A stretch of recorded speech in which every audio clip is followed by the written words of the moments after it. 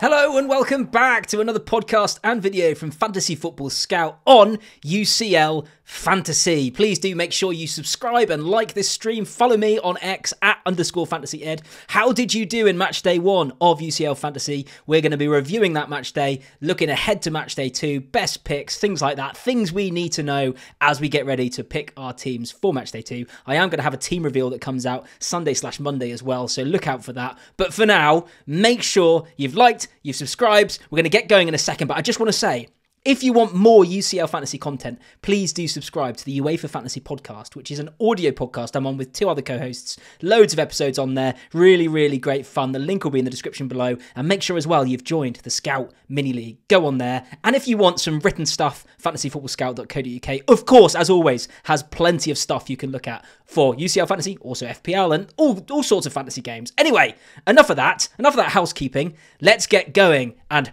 review match day one and preview match day two. So yes, you'll see I'm, I'm pretty happy with my match day one. In the past when I've had good ranks, and I've had quite a few good ranks, I haven't normally started this well. Um, I mean, it helps that a lot of people obviously captain Kane. So I got 110 points. If you're listening on podcast, I got 110 points. I'm 61,000 in the world, 61k. After match day one, really, really happy with that. There's over a million people playing, so really, really pleased. I'll just read out my team in case you're listening on podcast. So I ended up, the players that ended up on the pitch getting me points. Harry Kane, captain, for 42 points. Incredible, right? Absolutely amazing. What dreams are made of. Um, the only uh, downside, I suppose, is so many people captained him. But anyway, uh, Harry Kane, Gyökeres, who I went on and on about in in in uh, in my preview video. He got he scored, got nine points, fantastic, and double up because in midfield I had Goncalves as well. I went for the double up in the end, and he got an assist. Uh, so he got seven points. Yamal was my only Barcelona player, and he scored. He was the only scorer for them, so that was eight points. Oscar Gloukh did nothing for me, two points, but I'm keeping him. You didn't have him really for the first game. You had him for, for the subsequent games because you can just hold him. He's a cheap player. He's got a few decent games coming up. So I'm hoping he returns at least once or maybe twice over the next few game weeks. Jacob Ramsey, nine points for me.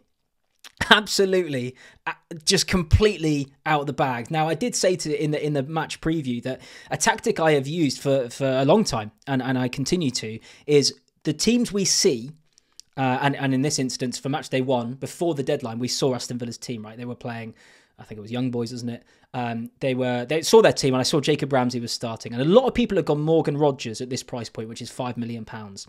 I saw Jacob Ramsey and Morgan Rogers at this point hadn't done anything FPL. Everyone had been bigging him up. I know he got two two assists just recently in the last FPL uh, game uh, match day game week. Uh, but Jacob Ramsey was there and I picked him. I picked him as a punt, complete punt. I knew he was starting. I went for it and lo and behold, he scores and gets me nine points. Absolutely incredible. Lots of people calling me lucky. Of course, it was luck, but there was a bit of calculated you know stuff there. I I knew that Jacob Ramsey was a goal threat. I know he hasn't had the best kind of 12 months, but before that he was properly highly rated, one of the kind of up and coming players. So went for it and it worked. So there you go. In in defense, uh, Grimaldo, unbelievable, right? I talked about Grimaldo in my preview. 12 points for me. Absolutely brilliant. Uh, Emre Can spoke about him. I said he was a lock because he was on penalties. Well, he didn't get a penalty, but he did get an assist. He ended up with 10 points. Absolutely incredible again. Trent Alexander Arnold got six because he got an assist. Fantastic. Ferland Mendy on three points there, and Blaswich in goal for two points. The most annoying thing was the players on the bench there. Di Gregorio, the uh, Juventus keeper who conceded, I think, in the 92nd minute or something to lose his clean sheet, gutting. Uh, Bellingham did play, and I ended up with Bellingham, but he came off with a blank at two points. Happy to have him, though, so, so he's there. Bogarde for Aston Villa, he was another one that I picked at the last minute because he was starting. He was 4 million. I had a 4 million slot to fill. He came off at half time, so he only got one point. Annoying. And then Haaland, of course, um, two points on the bench. So super happy um, with uh, 110 points. Super happy with the team. Very comfortable with where it is. The, the, the regret you'll see if you're watching YouTube, I've got a new little um, graphic above my head of my rank 110 points Match day one score. Oh, it's the wrong way around, isn't it? anyway, I'll fix that for next time. But my rank isn't 110 points. My rank is 61,825. Match day one score, 110 points. Highest match day one player, Harry Kane. I mean, that's going to be the same for so many people this week, isn't it?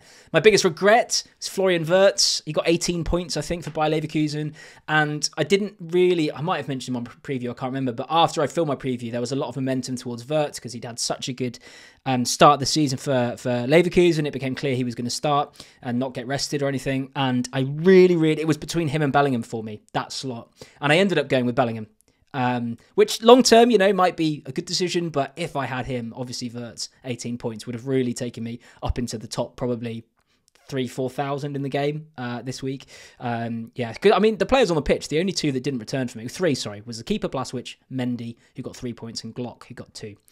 Um, biggest regret, so Florian Wirtz, and then my match day prediction, so match day two prediction, but I'll come on to that in a minute. So super, super happy with what I've what I've done for match day one. Super happy with where the team is for match day two. And actually, if if we just go here onto, um, what I want to go on to? I want to go on to uh, my team.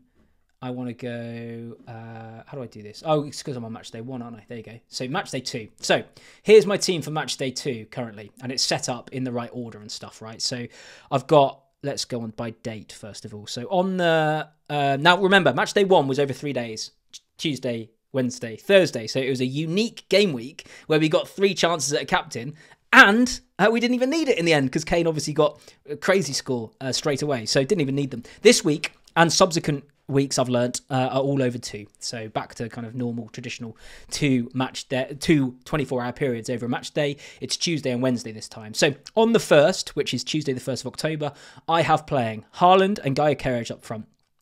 Lamine Yamal, captain, 1st of October, as Barcelona playing Young Boys at home. Goncalves is playing uh, at the moment. By the way, I haven't made any transfers yet, but Goncalves is in midfield on the Tuesday. Oscar Gloukh is on the Tuesday. Emre Can's on the Tuesday. Grimaldo's on the Tuesday, and Blaswich is on the Tuesday. To come on or to play on the second, uh, that is the Wednesday. Jacob Ramsey, I need to discuss what I'm going to do with that. Hopefully he starts, but I'm not going to be able to see the team. Trent Alexander Arnold, Ferland Mendy, Harry Kane, Bellingham, Bogarde again, another one, and then Di Gregorio to come off the bench. So I'm I'm pretty look, if I'd already made my transfers and this was the team I had to play, I wouldn't be that, you know, worried about anything. Um, I've got good captaincy option on the first. I've got a really good captaincy option too on the second, Bellingham and Kane. Um, so so it would be fine. However, I obviously have two free transfers, and actually, I've actually got uh, I left two and a half million in the bank. You'll see there, two and a half million in the bank, two free transfers, because the my initial plan was, but things always change, don't they? You make all these plans for I'm going to do this in match day four, this in match day five, this, but you always, you, you know, things always change. But my initial plan was, okay, what I'm going to do for match day two, because by uh, Barcelona have a really, really good fixture in match day two at home against um, uh, young boys. I need Lewandowski, and he scored again, by the way. I think he's got seven goals in seven games in La Liga this season. So I thought, okay, this is what I was originally going to do. I was going to take Harry Kane out, put Lewandowski in, right? So that gives me three and a half million now in the bank. And then I was going to take out Goncalves and what a lot of people would do this week, put in Salah, right? Because Salah at home against Bologna. Right, and then I'll have at home uh, at Anfield against Bologna. I'll have both Salah and Trent, the players kind of you want. And maybe maybe Luis Diaz is the one you want now, given his form. But you know the, the traditional ones you want. So that's what I was going to do, and that's the exact. I've got the exact money to do that. Right, you can see money remaining zero, free transfer zero. So that would give me. Um, in fact, if I now go date, the there's a couple of issues. A couple of issues with that. Well, are they issues? I don't know. But first of all, it means all my strikers are playing on the first. Is that an issue? Well, if they all blank, it's a bit annoying. I'm gonna have to leave one. Um, but you probably have to leave some blanks anyway. That would be a real disaster. I mean, let's have a look. Haaland has, uh, sorry, fixture opponent. Haaland has um, Slavia Bratislava away, but will he will he play?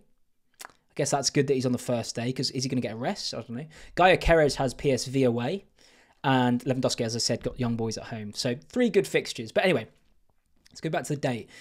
If I did this, then those two transfers I brought in will be my captains it's always pleasing when you can do that, right? Use a free transfer and it's going to be your captain. So Lewandowski would be my captain on the Tuesday, and Mo Salah would be my captain on the Wednesday. Or if, if, I'm feeling spicy, uh, Trent would be my captain, but I, am not. You know, I'm happy with where I've started. I need to do what's normal. So Salah, uh, captain on on the second. So I'm that was what I was going to do, and that is quite possibly what I'm still going to do. Okay, so the other the other thing I've been thinking is right, Harry Kane. I was thinking take him out for Villa away because he's got his next two are Villa away and Barcelona away. and then he's got Benfica at home, which of course is you know he could is a good fixture for them. But then it's PSG at home. Okay, we don't know what that's going to be like. Shakhtar away. So I was thinking Villa away. I, I said it in the preview. Villa's going to be Villa, Villa Park's going to be absolutely bouncing. It's their first game back in the Champions, uh, first game in the Champions League, first game back in European Cup uh, that they'd been in the. Of course, they've won it. Um, first game back, it's going to be absolutely bouncing. Are, are Villa just going to have? Are, are Villa going to batter them? You know, like um, Newcastle battered PSG in their first game back because the atmosphere was. I was there. The atmosphere was incredible. We just overwhelmed them. Is that going to happen here? But then Harry Kane scores uh, however many goals. How many goals was it in the end? Was it four or five? Four? Let's have a look. Hang on, I just need to remind myself here. Oh, 9 2. Yeah, four four goals scored. He got a, uh, one ball, got nothing, but player of the match as well. So crazy, right? So I have got to remember, though, were two of them penalties or were three of them penalties or something stupid? Like, I mean, it was obviously a massive win for them, but playing Dynamo Zagreb at home is very, very different to playing Aston Villa away. We know how good Aston Villa are now. So anyway, so that's my question. Do I keep Harry Kane? And if I keep him this week, I'll have to keep him the next week really as well. So it's Villa away and Barca away. And if I do that, well, how can I? I need to still get Salah in because I've got to have Salah, right? I can't, I can't take that risk. I cannot take that risk unless, I mean, unless I was feeling, you know, hmm, as I say, spicy, and I thought, let's get Luis Diaz, who's seven and a half million. You can see there, only ten percent owned. But is he going to start again? We don't know. Um, so I've got a few options. As I said, two and a half million in the bank, two frees. Haven't quite decided yet the other options, I guess, are if you go um, strikers, right? So I'm not really bothered about getting a Real Madrid player. And by the way, if you've got Mbappe, he's injured, right? He's not gonna. Apparently, he's not gonna make, play the next game. If you've got Rodri and you haven't heard, he's out for the season, so get rid of him, right? So you need to make sure you are up to date on, on on injuries and stuff. The striker to get this week is Lewandowski. So, is there a way I can get Lewandowski and Salah without getting rid of Kane? Well, potentially, is there? So, if I went Gyökeres, take him out, I leave Goncalves in, so I've still got sporting cover. I bring in Lewandowski. Hmm, this is the problem. It doesn't work because Bellingham would be the player I took out for um, Salah, but he's 9 million. I've only got 0.5 in the bank. So if I take Bellingham out, Salah's 10. So really, if I want to have Salah, which I do, I'm going to have to, well, or I take out Haaland, thinking he's going to be benched or something. Mm. I need to have a fiddle. Anyway, you can see the issues I've got. I wonder how your team's doing. Please leave uh, link uh, um, questions in the in the comments. Please leave uh, your teams and your questions and your dilemmas and what you're thinking of doing. Is there any players we've got to get for match day two? If you look above me on YouTube, you can see my match day two prediction. And this is going to be something I do each week where I predict a player that's going under the radar who I think is going to do well. Now, obviously, if it was just the player I think is going to get a really big score, I could say something obvious Lewandowski, Yamal, Salah, Trent, right? But I'm going to go Marcus Thuram. Marcus Thuram Inter Milan. Now, look, I don't think I'm going to end up with Marcus Thuram. Not because I don't think he's going to do well, but just because he doesn't fit into what I'm doing at the moment. So if you get into, look at Marcus Thuram, he is a um, He's a forward. He's seven and a half million, so he could come in for Guy Gyökeres, a straight swap for me. And Inter Milan have uh, Crvena Zvezda at home. Um, then they've got Young Boys away, so the next two. Then they've got Arsenal at home, right? But the next two are decent. Obviously, they had Man City, which wasn't a great fixture, which is why no one was really talking about Inter Milan assets. But now they've got Crvena Zvezda, or however you pronounce that. Sorry if I'm pronouncing it wrong, by the way. Uh, I had a lot of people in the in the comments talking about my pronunciation, but anyway. Um, yeah, I think he's had a really good start to the season. He's, I think he's got uh, four off. He's, he's outscored every other striker in Milan. I know because I play Serie A fantasy and I've had him and he's done pretty well. So he, he he is my prediction, by the way. So I'll cut this. If it goes well, I'll cut this up and maybe post it on Twitter. If it goes badly, I'll delete it. Um, yeah, so there you go. Let's look at the just before we finish. Let's look. I am going to be back, by the way, with my what I end up doing, my match day team reveal, and everything on Sunday or Monday. Quick video so you can watch that and make sure you know we've got everything that we need to know. But match day two. Let's look at the actual fixtures. So we've got here. Look, this is the the question when you're looking for. We obviously only get two free transfers between each match day. So what you're looking for in the next match day is just what fixtures stand out. You've only got two to bring in, unless you're using a wild card or something. Where which fixtures stand out to, to, to make a move to bring someone in? So the ones here, I mean, Salzburg, Brest, no. Stuttgart, Sparta Prague, no. Leverkusen, Milan, not really. They could cancel each other out. Inter Milan, Crvena Zvezda. As I said, yes, that one does stand out. Um, Marcus Thuram, one of their defenders. Um, Barella or someone, one of the midfielders. You know, I doubt you'd do that, but th- there's options there. Okay, Borussia Dortmund at home against Celtic. There's one. Okay, so Borussia Dortmund at home. I know Celtic won their first game, but Celtic away from home in the Champions League are historically not very good, and Borussia Dortmund should blow them away. So, is there an option there to bring in? I mean, one of the top scorers in match day one, if you notice, was the Englishman. Uh, what's his name again? Gittens, something Gittens. I really should know this. Byro Gittens or something. Oh my goodness, I'm going to get absolutely slated for that. But anyway, he scored. I think he scored two. Uh, slate me all you want. I don't really care. Um, Barcelona young boys is is the obvious one, and that was in my in my mind. You know, before I made my match day one team was let's bring in Lewandowski for this, right? So I've got two attackers for Barcelona. Arsenal PSG, no, not really, because anything could happen there. I mean, uh, Odegaard's out for them. Um, I think I think uh, it sounds like Raya's going to be back, but anyway, it, still PSG could do something there, so that that's not too exciting. PSV Sporting, I mean, I've got two Sporting players at the moment. I'll probably still have one become deadline, so I've got that covered. Will might PSV beat them? Maybe, but anyway, doesn't you know scream that it's interesting. Bratislava against Man City obviously does. Man City should blow them away, even though they're away from home. But I just worry about what team is going to play here, and we're not going to see the lineups. You know, is this a game where, you know, Haaland's rested? Um, is this a game where I don't know, any, you know, Ederson doesn't play in goal or, you know, whatever. I'm just a bit worried. Obviously, the only City player I've actually got is is Haaland. I'm not going to sell Haaland, I don't think. I'm just going to risk, because it's match day one, oh, sorry, because it's the first day of the match day, I can I can risk him, put him up front. If he doesn't play, then I'll just sub him out. But it does worry me. If you if I had triple City, like some people do, never have triple City in this game. Don't trust Pep. Uh, and then on the Wednesday, let's see what games stick out. Shakhtar Atalanta? No, not really. I mean, Atalanta I'd expect to win, but Girona Feyenoord? No, they could cancel each other out. Leipzig Juventus? No, they could cancel each other out. Liverpool Bologna? Yes, and I've already got. I've already said I've already got Trent, and I'm Salah is my main objective to bring in and captain this week.